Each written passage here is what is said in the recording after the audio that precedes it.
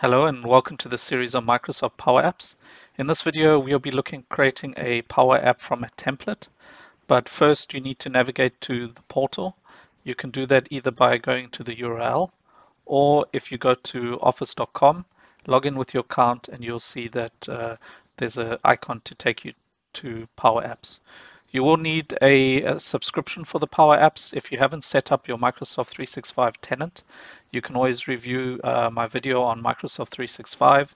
This will give you an E3 and E5 subscription as a, as a demo account, and you can use this for, for 90 days and renew it after 90 days. And included in the E3 and E5 is the Power Apps, which you will be able to use and test. So I really would recommend doing that. And um, you will need a Microsoft 365 tenant to test with some of these videos. If you already have the setup, then uh, you can continue and follow along. If you haven't had, don't have the setup, you need to go and set this up first. So on the um, dashboard over here, you can see we have our data sources. In the previous video, we created an application from a SharePoint data source.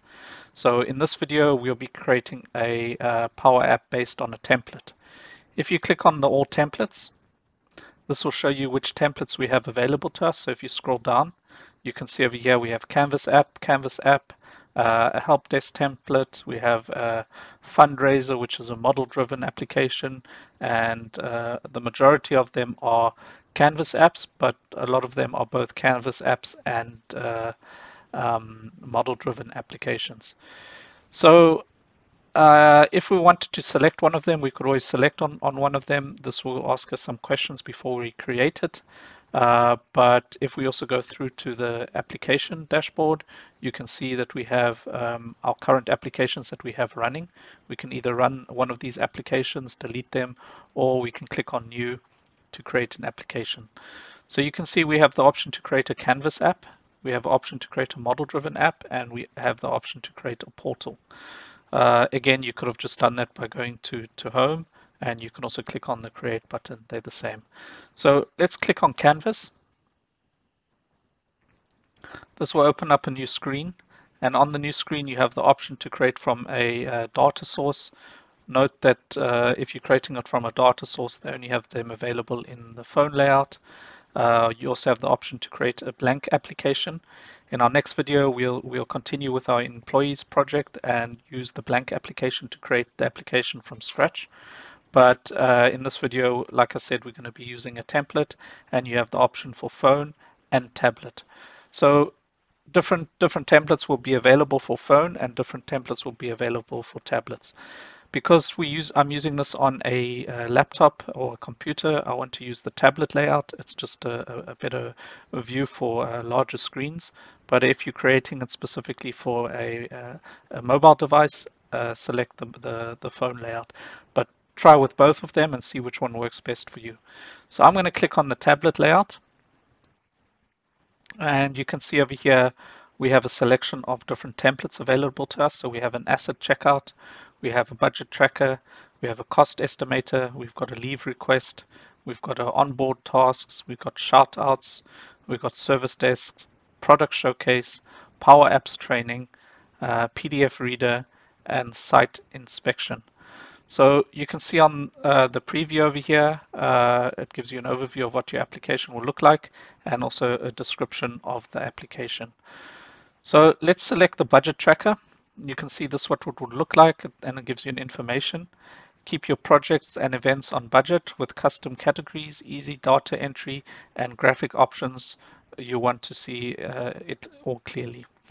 So at the bottom over here, we have option for our data sources. Most of these templates are using an Excel spreadsheet and storing the information on Excel spreadsheet. So you can select where you want to store the Excel spreadsheet.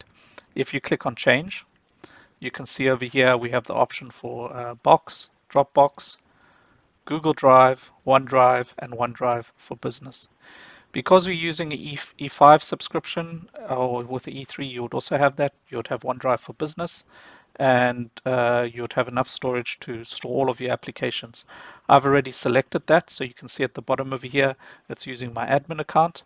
And to use that, we will click on Use. To create the application, it takes a couple of minutes.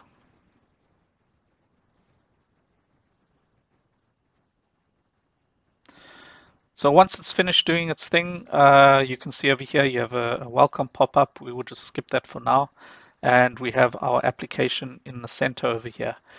You can also see on uh, on the left, if we minimize all of these, uh, you have your application, you have your budget screen, which you can see.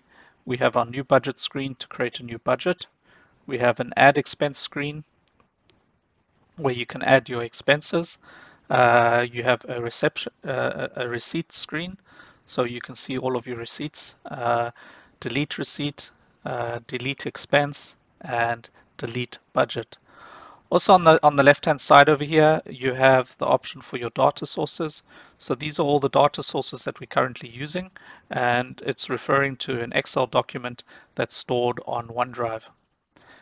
If you go over to OneDrive, you can see over here, if we go to Power Apps, Templates, and I've created a couple of budget applications. I'm not sure which one this is, but if you click on one of them, there is all of our data. If we open that up, you can see over here you've got your default data. You can delete these items and uh, if you delete it, it will be reflected in your application. Just make sure you don't delete the titles. I'm not going to change anything here. Feel free to look at the Excel spreadsheet and I will close that. Uh, let's go back to our Power Apps. And let's have a look at some of these uh, screens that we have. You can see uh, this is our, our budget screen. It's got a, a, number of different components added to it. If you click on one of the components, uh, let's click on another one, you can see uh, what is inside there. So we, we have over here, for example, a text box. Um, you can change the text, you can change the color. For example, if you uh, select the top bar over here, currently it's set to blue. Uh, let's make this a green color. And if you select the, the text, you can change the text to whatever you want. So let's say my budget tracker. And maybe also let's change the, the text color. It's currently set to blue. I want that to stand out, so let's make it uh, not purple, but let's make it red. And also let's make it bold. So that stands out a little bit uh, more. Feel free to have a look at the different components. Um, I will go through some of those settings in a later video, so I'm not going to pay too much attention to this. Uh, but let's run the application and see what happens. So to run the application, if you click on play or F5, you can see over here we have I, uh, the name that we changed, the My Budget Tracker. We have all budgets, so the total budget for, for the month that we have. Uh, so uh, 55,000 spent 20, 22,332 and remaining is 32,668. So it calculates all of all of those uh, values based on the total. If you have a look underneath here on the left hand side, we have our our uh, budget. So this is a team event at Contoso and it displays the information over here. It has a response or a, dynamic uh, pie chart. If you hover over it, it expands.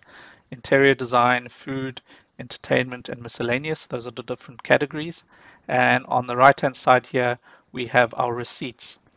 So if we look at the underneath here, you have the options that have been added. So for cake, they've spent 300 pounds. Uh, for movie 500 pounds for extra 1000 and cleaning 150 you can delete one of these items and it will refresh the the totals but if we click on new and let's just type test and let's put a value in here of 1000 and the category that we can select let's say transport. And notice over here we have a black screen. This is a camera component. So because I'm using this on a, a, a laptop, they, I, I, don't have my camera enabled, but if you were doing this on a mobile device, you could uh, uh, focus your camera over the receipt and take a photo of the receipt. And when you save it, takes a while to save, your receipt would be displayed over here. But as mentioned, I don't have any receipt. Uh, I don't, I didn't take any photo of the receipt because I'm using a laptop and not a, a camera, a mobile phone with a camera. It's, nothing is displayed over here. If we scroll down, you can see the value that we entered in over here and it reflects at the total at the top there. We also have other um, budgets that we have. So spring customer visit, uh, the layout is exactly the same.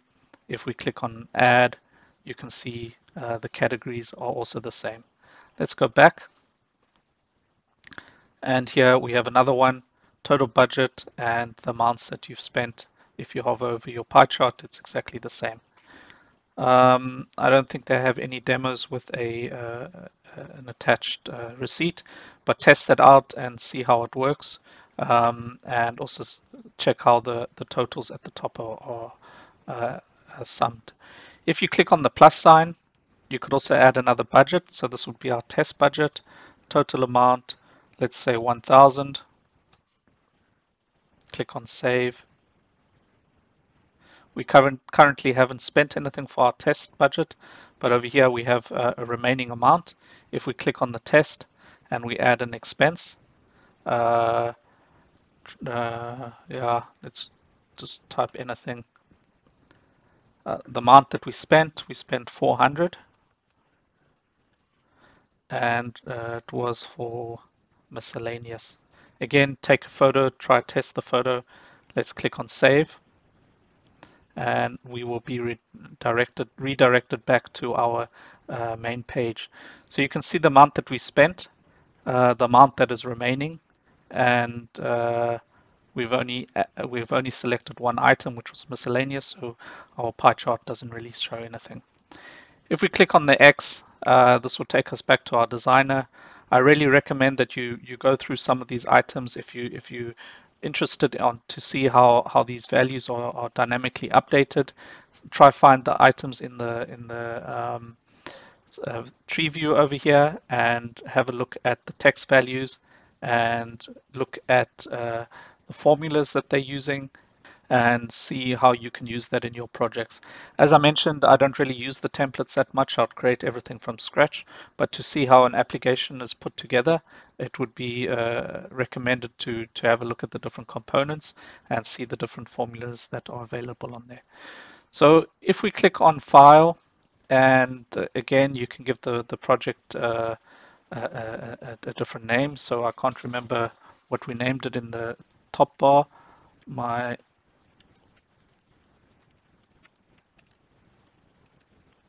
my budget tracker and let's give it a different color. And because this is for finance let's try see if we can find a financial icon. If you don't uh, doesn't really matter which one you add. You can also upload one and use one from your uh, local PC I can't seem to find one select one that you think is uh, appropriate for the the application and uh, add it to it. So from here, we also need to save it. If we click on the Save button, you can click on Save. It'll take a, a couple of seconds to save it.